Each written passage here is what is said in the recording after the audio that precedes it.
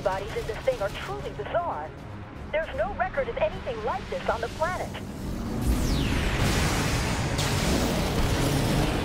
If we could combine the antibodies from this prototype with the right antibodies from a native species, we might finally have something we can use against the White Phantom.